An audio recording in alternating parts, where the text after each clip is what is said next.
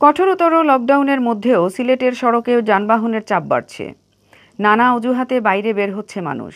মহানগরীর অনেক স্থানে দোকানের হাফ শাটার খুলে ব্যবসা করছেন ব্যবসায়ীরা। কেউ কেউ অর্ধেকের তোয়াক্কা না করে পুরো শাটার খুলেই রাখছেন। মহামারী করোনা ভাইরাসের সংক্রমণ ঠেকাতে গেল তেইশ জুলাই থেকে সিলেট সহ সারা দেশে দুই সপ্তাহের কঠোরতর লকডাউন আরোপ করেছে সরকার। লকডাউনের প্রথম দু তিন দিন সিলেটে সড়কে যানবাহনের সংখ্যা ছিল হাতে গোনা। মানুষের আনাগোনাও ছিল একেবারেই কম। কিন্তু সোমবার থেকে ধীরে ধীরে সড়কে যানবাহনের চাপ বাড়তে শুরু করেছে। চলাচল বেড়েছে মানুষের।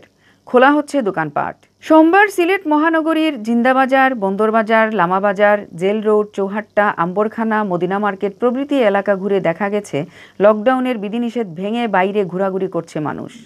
তাদের অনেকের মুখেই নেই মাস্ক। বিশেষ করে অলিগলিতে তরুণ যুবকদের আড্ডা দিতে দেখা গেছে। অনেক গলিতে চায়ের টং দোকান খোলা রাখা হয়েছে। নগরীর সড়কে যানবাহনের চাপও প্রত্যক্ষ করা গেছে।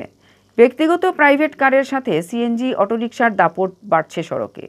একই সাথে রিক্সা চলেছে অবাধে। এদিকে নগরীর বন্দরবাজার সহ বিভিন্ন এলাকায় কাপড় চোপড় ইলেকট্রিক পণ্যের দোকানের শাটার অর্ধেক খোলা রেখে বেচাকেনা করতে দেখা গেছে। বিশেষ করে কাপড়ের অনেকগুলো দোকান খোলা রাখতে দেখা গেছে। আইন শৃঙ্খলা রক্ষাকারী বাহিনী বলছে, লকডাউন বাস্তবায়নে তারা মাঠে কাজ করছেন। যারা অযথা বাইরে বের হচ্ছেন, তাদেরকে কোনো কোনো ক্ষেত্রে জরিমানা করা হচ্ছে। প্রতিদিন অপ্রয়োজনে বের হওয়া যানবাহনের বিরুদ্ধে মামলা দেওয়া হচ্ছে। যানবাহন আটক করাও হচ্ছে।